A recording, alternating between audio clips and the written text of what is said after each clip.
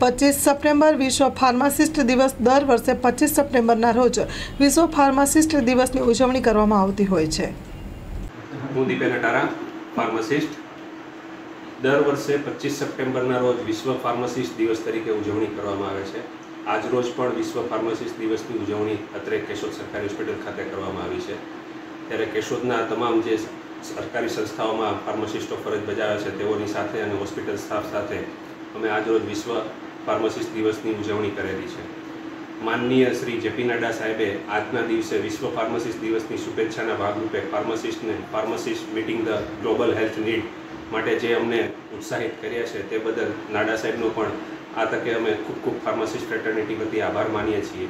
અને લોકોમાં પણ એક અવેરનેસ ફેલાવવા માટે જરૂરી એક સંદેશ સંદેશો આપવા પાઠવીશ કે તમે જ્યારે મેડિકલ સ્ટોર પર દવા લેવા જાઓ, ત્યારે એ મેડિકલ સ્ટોર ઉપર દવાનું વિતરણ રજિસ્ટર્ડ ફાર્માસિસ્ટ દ્વારા જ કરવામાં આવે છે કે કેમ?